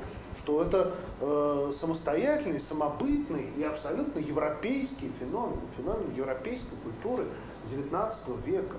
Вот, что вообще говоря, мы можем говорить о славянофильстве и вне контекста вот этого пантеона ранних славянофилов, к которым мы все время апеллируем, к которым мы обращаемся и на которых мы молимся, как на наше все. Вот, понимаете, история э, философии может быть написана совершенно по-разному. И вообще говоря, э, Гавриил, который в 1840 году да, написал эту книгу, э, тоже ведь не на голом месте взялся. Вот мы думаем, что мы сегодня такие философичные, мы сегодня такие философы, мы прочитали Делеза и Гватари, что такое философия, мы прочитали Гуссерля, вот, и в кругу там наших жизненных сует, уделив э, одну там десятую часть времени изучению философии, мы считаем себя философами. Да извините, дворяне 18 века всю жизнь этому посвящали. Такие люди, как Андрей Тимофеевич э, Болотов, вот, были погружены в философию, жили философией, читали философские тексты. Э, вот, э, гораздо больше, чем мы. Гораздо больше, чем мы. Русская культура 18 века вообще была тотально философской. Ведь без этого не оказалось бы таких людей, как Радищев, как Карамзин. Вот. И э, появление Гавриила вот на этом фоне – да, конечно, это отчасти идеологический заказ, но вообще-то говоря, у нас страна такая, у нас э, люди без э, заказа, без, э, что называется, некого задания плохо работают. Им надо поставить задачу. И тогда они начинают, что называется, впрягаться. Вот. Но ведь кроме этого заказа действительно была очень интересная культура, культура мысли, культура духовной мысли, культура масонской мысли, в конце концов, которая тоже была э, духовна, но не совсем, э, скажем так, э, церковно.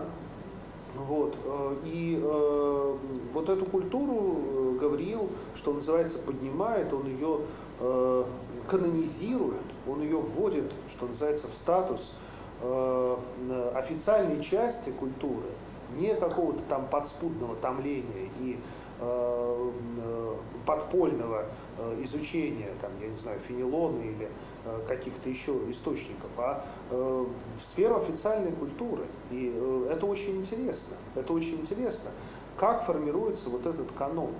Вот. Э, поэтому э, то, что Василий вот это сделал и это поднял в этой книге, я считаю, что это очень большое достижение истории русской философии.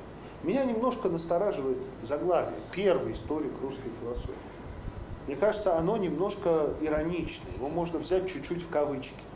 Знаете, одно время ко мне все время приходил монах э, Иоанн, который хотел поставить памятник первому русскому учителю. Вот давайте на Лубянке поставим памятник первому русскому учителю, Магнитскому, вот автору первого учебника по математике. Я ему говорю, ну извините, но все-таки, может быть, Магнитский не, не первый, но один из первых. Да? Вот. Ну, человек, который систематизировал. Ну, до Магнитского были учителя, и до Гавриила тоже были философы, и, наверное, были историки философии. Вот в каком-то смысле Карамзин э, тоже может рассматриваться как историк э, философии, как историк мысли, мне кажется. Вот. Э, но э, вообще говоря, для вот, официальной культуры э, нужны иногда вот такие слоганы, первый историк русской философии, первый космонавт, да, первый, э, я не знаю, там, э, изобретатель э, радио, там, Попов. Вот, потому что в каком-то смысле это вот, э, представление нашей культуры, нашего сообщества философского вовне. Вот у нас есть первый, у нас есть первенец. Да? Вот, и мы можем этим гордиться. Поэтому с точки зрения самопрезентации философского сообщества, мне кажется, название книги удачное действительно вот мы можем сказать, что вот Гавриил э, это ну, такое вот в каком-то смысле наше знамя. Э, сегодня в Казани э, возрождают э, духовное образование, э, возрождают э, Казанскую духовную академию. Я знаю, что есть такая задача, и, вот, кстати, выпускник Московского университета, филологического факультета, игумен, отец Ефимий, является сегодня ректором Казанской духовной семинарии, и, э, вероятно, Казанская духовная академия тоже будет восстановлена. И в этом отношении, конечно, вот э, для Казани э, то, что сделал Василий, не случайно сегодня наши удаленные зрители шлют столь восторженные отзывы, это вообще ну, такой вклад в миф, фундаментальный кирпич в миф казанской идентичности, казанской культуры. Да? Вот, то есть э, эта книга, я не знаю, там, ну, как Флоровский для русской философии, для вот, э, современного э, казанского культурного э, э, поля. Вот, поэтому э, я очень рад, что э, Василий э, сумел этот труд э, завершить, представить, э, что в определенном смысле это повод к тому, чтобы переосмыслить те э, стереотипы русской философии, которые всегда есть. Вот они были и в советской культуре, и синяя лошадь, вот этот пятитопник, да, советский, они синяя были... Птица. А, синяя птица. Серая лошадь, синяя птица, да. Вот, синяя птица. Вот, э, и э, они были в эмигрантской культуре. Зиньковский – это такой же стереотип. Это такой же стереотип. Если мы думаем, что вот Зиньковский, Лоский – это вот абсолютная как бы, картина того, как русская философия развивалась, начиная со сковороды, да, вот, э, Ижева святых отец наших, э, Григорий Савич Сковорода, да, э, это не так. А почему со сковороды? Ну почему со сковороды? Может, с Гавриила Воскресенского, а может еще с кого-то, да? Вот, то есть э, координаты могут быть заданы по-новому. И это наша э, задача постоянно эти координаты задавать, постоянно переосмысливать вот те э, при... В Киеве переименовали сейчас, сейчас избавляется от всего русского сковорода. А у них национальный институт философии национальной. Почему же сковорода русский? Сковорода украинский там. Писал, писал это на русском. Он вполне укладывается в их, в их украинскость. Вот. Но Бог с ними, то, что он называется, Бог с нами, а сковорода, сковорода с ними, что называется. Да? Поэтому, как говорил Саша Черный, э, э, оставьте в этом фолианте, мы все погрязнем без труда. Не говорите мне о Канте, ведь есть у нас сковорода. Здесь можно сказать, не говорите мне о сковороде, ведь есть у нас говорил Воскресенский.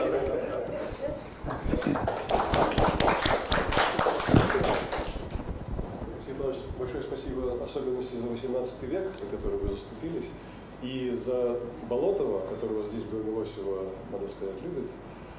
Вот. А позвольте я задам вопрос, э, Василий, э, касающийся вот чего. Вы наметили эту тему Э, в заключение своих слов, а я бы еще раз к ним вернулся. Зная, что вы много хлопочете вот о судьбах философского образования в Отечестве нашем, да, какие уроки-то вы извлекли для себя вот из этой, э, из этой работы, что бы вы взяли на вооружение, учитывая, что ситуация-то архи похожа? Нынче и тогда? Ну, прежде всего, что хотелось бы отметить некий урок, который мы действительно извлекаем, а, что без а, вмешательства государства в университет пока невозможно обойтись попытка дать, э, как так сказать, полную свободу. Я, опять же, не сторонник, так сказать, вмешательства государства, но это всему, так сказать, в свое время э, необходимо соответствующие условия, соответствующее э, сообщество. У нас пока было и остается, что государство, университет, университет – это необходимый инструмент подготовки государственных служащих. Кто-то шел по военной линии, кто-то по духовной, а можно было служить государству, быть, так сказать, верным сыном Отечества, идя по Ниве, по, так сказать, э, работая на Ниве просвещения. Вот у нас университет по-прежнему остается таким государственнической структурой, государственнической структурой, и государство рассматривает его э, как необходимый инструмент подготовки соответствующих кадров, пока университет не может быть предоставлен самому себе как некая фабрика, которая отвечает на запросы со стороны бизнес-сообщества или политического сообщества по ситуации. Он мощный инструмент идеологический. Поэтому, как бы мы ни к этому не относились, эта, в общем-то, тенденция сохраняется, и мы должны пока, в общем-то, возможно, а, какие-то университеты должны быть исключительно, так сказать, в автономной среде, но пока государству необходимо держать руку на университетской жизни, но не запуская ее слишком глубоко, так сказать, в наши, так сказать, в наш карман или в нашу душу, как это можно э, выразиться. Все. Нет, нельзя интерпретировать как исключительно плохое, негативное вмешательство государства. Другое дело, что государство не всегда ведет себя, так сказать, корректно, адекватно, формулирует цели, задачи, и, и часто, в общем-то, вполне здравые, так сказать, запросы, которые формируются, выражаются на таком идеологическо-схоластическом языке, не всегда плохи. А просто часто у нас как бы вот эти полезные начинания принимают формат какого-то, в общем-то, патриотического беснования, создания каких-то э, конструкций непонятных и прочего-прочего. Вот один из уроков э, того, что, в общем-то, государству необходимо держаться университета. Вот армия и университет, как перефразирую известное выражение, что вот все-таки два друга у государства – это армия и университет. В общем-то, тут, так сказать, соответствующее финансирование и влияние. Два раза финансирование университета. 2018 года на 60% уменьшается финансирование высшего образования и на 50% финансирование высокого университета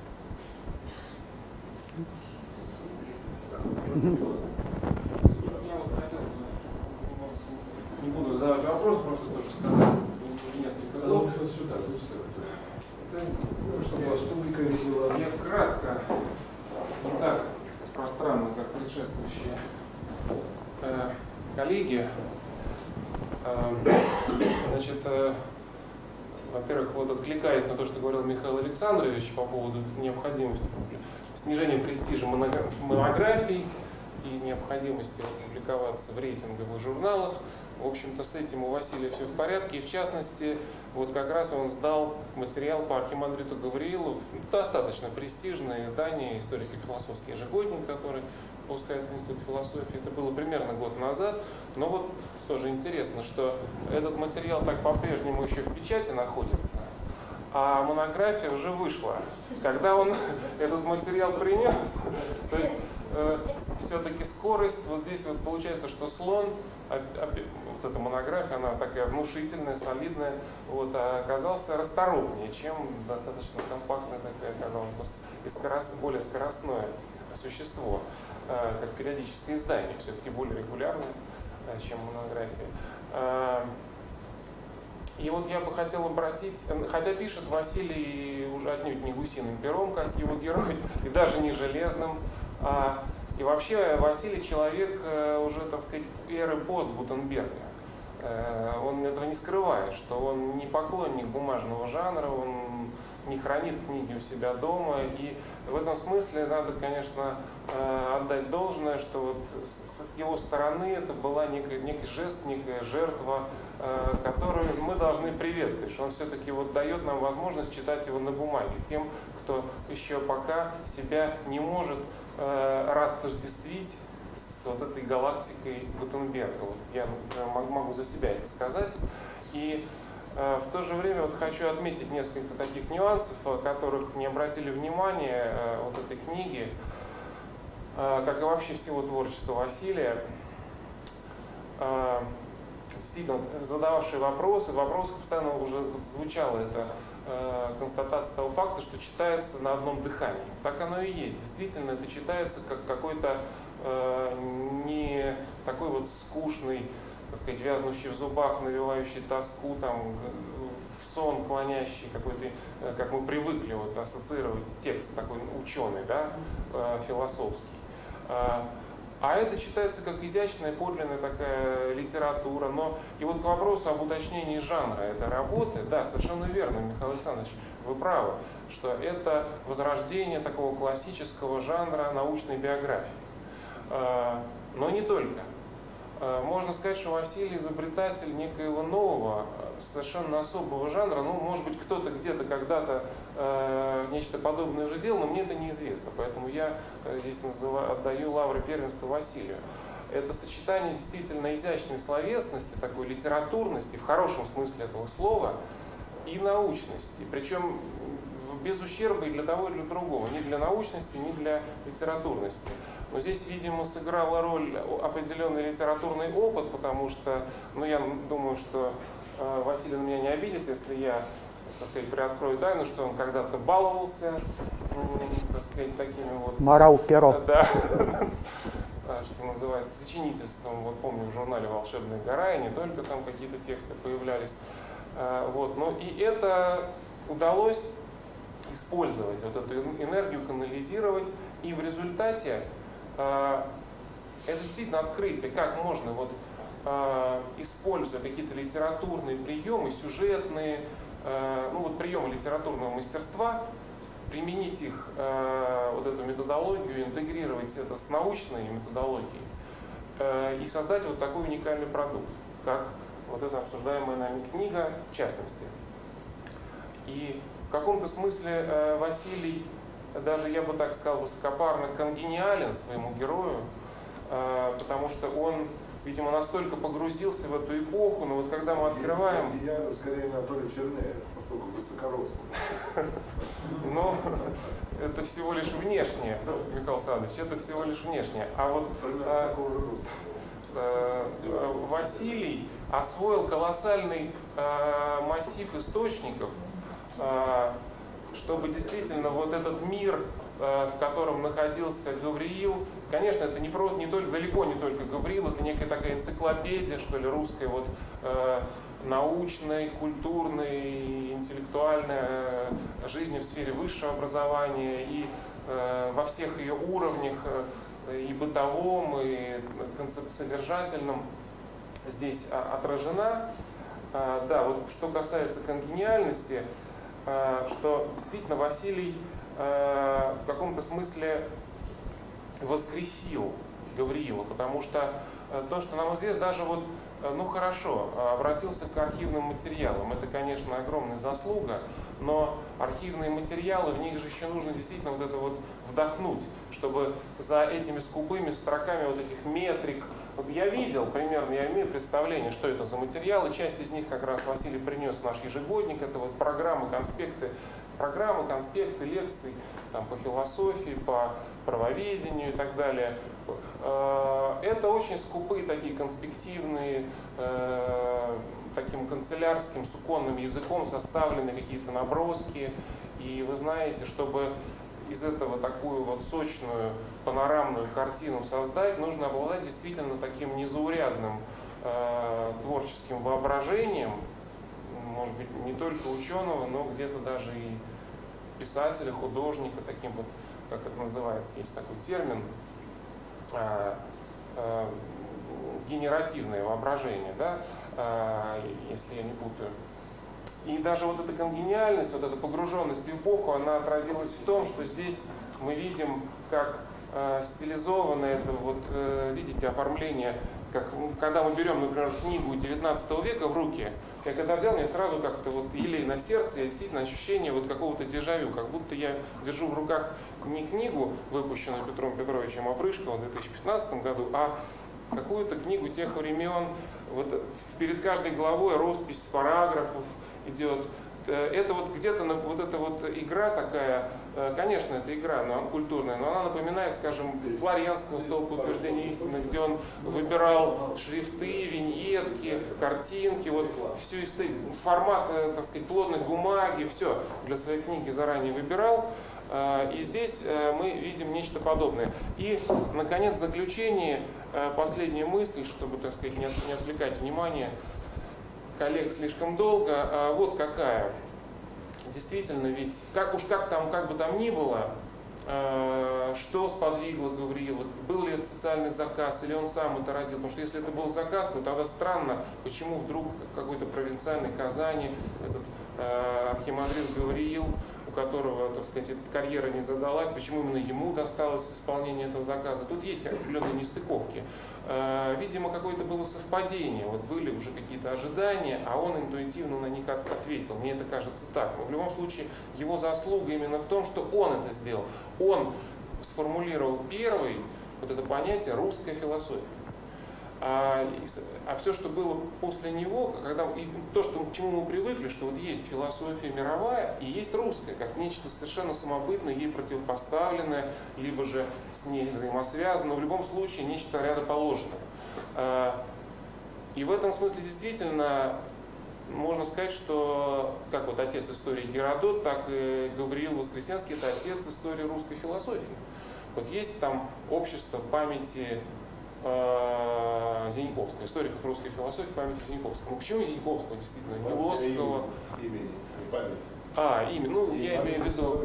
Э, нет, это уже другое. Да, и общество историков русской философии имени Зиньковского. Да, я просто оговорился. Но гораздо справедливее было бы учредить что-то памяти имени, точнее, э, да и памяти тоже, Гавриила Воскресенского. Во всяком случае, его память чтить совершенно необходимо. Может быть, надо вот как-то действительно какие-то чтения э, организовать, приуроченные его, там, ежегодные, там, не знаю, какой-то, с какой-то периодичностью, приуроченные к дню его смерти, обычно день памяти, день смерти, э, вот, какое-то общество. Ну, в общем, нужно эту фигуру поднимать на щит, то, собственно, что вот Василий уже и делает. Я просто логически развиваю то, что из этого Я может буквально одно. Всё, спасибо. Одно предложение. предложение. Если разрешите, да? Я просто забыл сказать. Дело в том, что у нас э, во вторник, э, 26 числа, 26 мая, то есть вот на будущей неделе, э, будет э, конференция э, на философском факультете э, МГУ, э, посвященная 260-летию Московского университета. Э, Тема конференции «Университетская философия в России». Поэтому, если кто-то желает э, прийти на эту конференцию, мы будем целый день, у нас там довольно много докладов, целый день будем, так сказать, слушать эти доклады, перерыв будет, приедут э, люди из других городов, Э, кстати, будет интересно. Поэтому, если кто желает посетить эту конференцию, вы запишитесь у Василия. Вот у него, я смотрю, бумага э, и ручки есть. Еще мы писали. Да, с, тем, чтобы мы вам заказали пропуска, если кто пожелает. Да, вот мысль такая, такая. Друзья, давайте заканчивать. У нас еще один вопрос. Два Да, новых вот э, издатель, издатель. А, издателю, конечно. Садиться не буду я. Что все, что? Да, там у нас камера, поэтому лучше сидеть. Ну, я просто скажу, что новое издательство в этом году в Москве появилось, и меня назначили директором, называется «Мир философии». И это первая книга, которая вышла в нашем издательстве. Причем открывает серию русской, э, русской философии. То есть нам очень повезло. Ну тут кто-то помог свыше. Значит, я давно работаю редактором в политиздате, потом в республике. Ну, республика сейчас уже обанкротилась, то есть там новое руководство в основном Коммер- Коммерческое. да не коммерческое. Здание свое хотят значит, приватизировать, да и все. А книги не выпускают. Поэтому мы, значит, э, нас уже мало там людей было, почти никого уже не осталось. Бывший генеральный директор политиздата республики Поляков и я, мы сейчас вот э, с коллегами организовали небольшое издательство вот по таким названиям. Нам очень повезло. Не нужно было ничего делать. Это впервые в жизни. Значит, когда не нужно было не редактировать, потому что если только начнешь редактировать, ты испортишь там это дело. Тут э, значит, э, тот случай, когда было приятно просто работать, читать, поэтому очень быстро и э, нам удалось выпустить эту книжку, и это делает нам большую честь. Вот то, что я хот- хотел сказать. А если есть вопрос, какой-то, я могу ответить. До этого мы, конечно, приглашай автора. ну да. До этого мы выпускали много книг э, по философии, э, там, по социологии, политологии, но особенно по русской философии, под руководством Михаила Ильича Масляна, э, сотрудников философского факультета, э, Института философии, много. Мы выпустили 30 томов Розанова Василия Васильевича, Шапсенгауэра, то Мережковского, собрание сочинений. И, можно сказать, огромную серию мыслителей 20 века. Поэтому вот эта книга, да, это как бы новый этап. И кто еще, так сказать, пожелает обратиться к нам, мы радостью будем сотрудничать, будем вместе работать. Вот всё. Давайте заключительный вопрос. Как вам работать? Это отдельно. Давайте я добавил. Будьте добры, ваш вопрос, и мы заканчиваем. Спасибо, очень короткий вопрос. Э, Касается понятий, и я чувствую, если не разберусь с этим, то э, не буду спокойно спать. И вот хотел спросить. э, А- существует- а Андреас Бюллер представляет у нас э, германское научное сообщество. У меня совершенно короткий вопрос. Э, Вы сказали о дифференции между понятиями э, образования и просвещения. И когда я думаю о просвещении, я автоматически э, вспоминаю Канта, как он классически э, охарактеризовал этот термин. Э, в чем заключается разница между просвещением и образованием? И лежит эта дифференция в 19 столетии или она была э, интерпретирована вами пост э, интерпретации? Спасибо за вопрос. Очень действительно важный момент. Это появляется специально, как раз э, специальная статья после восстания декабристов в «Северной э, пчеле». Э, Инициировано было Гречем. В общем-то, малоизвестный автор писал на эту тему. Но это, опять же, было, так сказать, выполнение некого социального заказа и обозначение, так сказать, возможных стратегий развития. Вот в этой статье, так сказать, в то время появляется, что э, различие следующее – что образование, если мы делаем ставку на образование, просто на образование, оно готовит, образованный – это квалифицированный специалист, ну, скажем так, опять же, я уп- упрощаю просто э, ради экономии времени. Э, Мы тем самым готовим космополитов, но не патриотов. Сегодня он может на тебя работать, завтра на другое государство, завтра, послезавтра еще на что-то. А вот просвещенный – это образование плюс патриотизм. Вот, кто так, вот что такое просвещение. Подготовка кадров, которые будут работать на свое отечество, используя химию, физику, биологию, философию, все что угодно. Вот и как раз университетов, так сказать, перед университетами была задача подготовки просвещенных, образованных плюс патриотично, так сказать, настроенных. В то время как просто образованный космополит и образован, все декабристы были образованными, но, так сказать, выступили против Отечества. Ясно, что у них была своя легенда, своя установка, свое, так сказать, мнение о судьбах о, России. Ну, это, так сказать, официальная точка зрения. Подготовка просвещенных. Слово патриотизм у декабри- у декабристов, разумеется, был. Что сделали?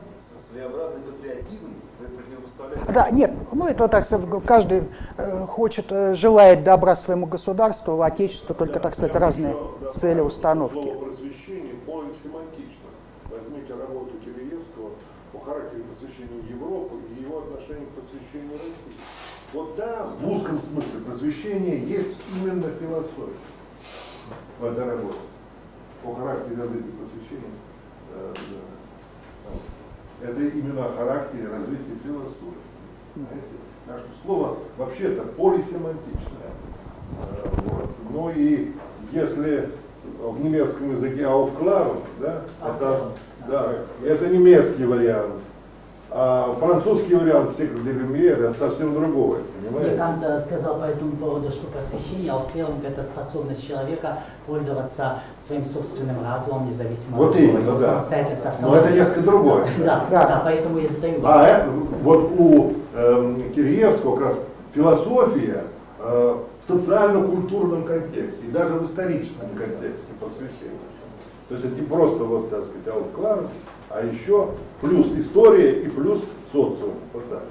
Вот применительно к нашему персонажу и ко времени, к эпохе, то есть среди, где он находился, просвещение, это по- подготовка образованных, высококвалифицированных кадров, но при этом патриотично настроенных. Поэтому университет, и Архимандрит говорил, выполнял, так сказать, эту за- задачу, читая лекции с кафедры и э, печатая те или иные издания. Я заключительную буквально. да. Ну, надеюсь, что Казань все еще на связи. Вот, может быть, в Казани появится памятник Архимандриту Гавриилу. Я думаю, будет весьма удачное место. И в Казани, может быть, будут действительно, в общем-то, какие-то регулярные чтения, ну, и, так сказать, пожелания казанцам. Надеюсь, что, в общем-то, по крайней мере, мне, э, когда я завершил свою работу, я, в общем-то, и все э, работал, хотя очень часто э, просыпался в 3 часа ночи, потому что приходила какая-то мысль, идея, надо было зафиксировать. В общем-то, эта работа не доставляла, она мне, так сказать, потратила много сил, усилий, времени, хотя мог заниматься карьерным ростом и добыванием средств дополнительных к жизни. Но здесь, так сказать, ради искусства работал, поэтому, так сказать, из, из любви к искусству, поэтому Поэтому доставляло удовольствие, когда я завершил эту работу, поставил последнюю точку, в общем-то, испытал чувство облегчения и, опять же, все-таки э, радости. И хотелось бы, конечно, отметить и все наше, в общем-то, сообщество, которое прямо или косвенно мне, так сказать, помогало, поддерживало, в общем-то, в моем начинании. Ну и хотелось бы, поскольку здесь звучали неоднократно слова, так сказать, обоз подчеркивалась, так сказать, приятность э, чтения, а, оформленность текста. Хотелось бы, конечно, выразить отдельную благодарность Елене Степановне Гривцовой, коллеге нашему, тоже исследователю русской философии, которая помогала мне в работе над текстом, задавала вопросы там, где что-то было неясно, требовало ясности, поэтому вот эта а, ясность слога, в общем-то, ясностью слога, э, так сказать, красивостью изложения отчасти обязан и Елене Степановне, поэтому это в полном смысле такой коллективный труд нашего небольшого узкого академического сообщества с, с хорошими, так сказать, традициями и с, с, с текстоцентрированностью, который считает, в общем-то, что любое нормальное исследование должно завершаться хорошей а, монографией и, в общем-то, высокими требованиями к тексту. Тут поэтому в этом, так сказать, коллективный а, проект. А, и надеюсь, что вот все-таки моя работа, а, важно еще спровоцировать появление других работ, которые действительно будут развивать эту тему. Надеюсь, мне это все а, удалось.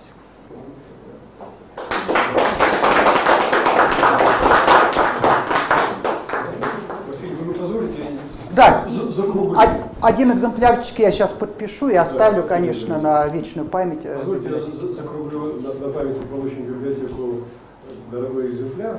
А, я хотел напомнить, с чего я начинал свое, свое коротенькое вступительное слово, где я напоминал об одной особенности нашего исследователя, который постоянно обращался к русскому слову в экскурсах вот в этой книжице, которая посвящена была истории философии словом русской.